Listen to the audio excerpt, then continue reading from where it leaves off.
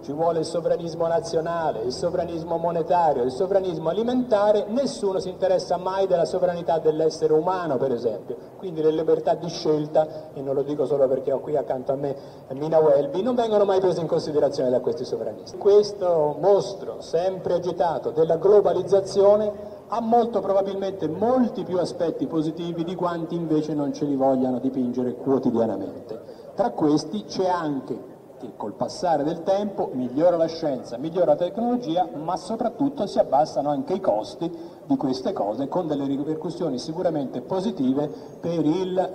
consumatore finale. Eh. Buongiorno, io sono Massimiliano Beretta, eh, lavoro per una ditta sementiera italiana che è Easy Sementi, eh, che opera su, su tutto il territorio ma opera anche a livello internazionale perché ovviamente esportiamo in tutto il mondo. Eh, chiaramente oggi parliamo di una tecnologia che è assolutamente nuova e rivoluzionaria, che è quella del genome editing. Eh,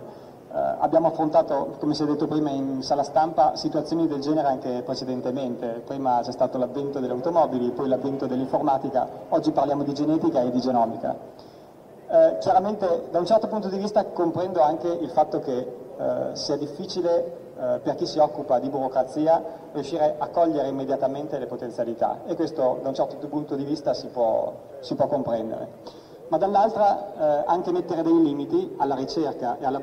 al fatto di poter sviluppare qualcosa di nuovo e di innovativo che sia competitivo con un marchio Made in Italy su tutto il territorio del, del pianeta, volevo dire nazionale, ma veramente di tutto il mondo, credo che sia una visione un po' miope anche perché eh, c'è una frase di un ricercatore famosissimo che è Ted Koppel che disse che la misura della buona scienza non passa né dalla politica né dai rapporti personali ma si riesce a fare soltanto immergendo le ipotesi nell'acido della verità.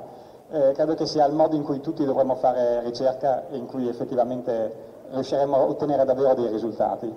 Chiediamo che ci sia dibattito pubblico, chiediamo che la ricerca non si fermi, chiediamo alla comunità scientifica di agire all'unisono sia in Italia che in Europa, perché oggi è arrivato il momento di pensare qual il, quale sarà il mondo che noi vogliamo fra vent'anni. Io mh,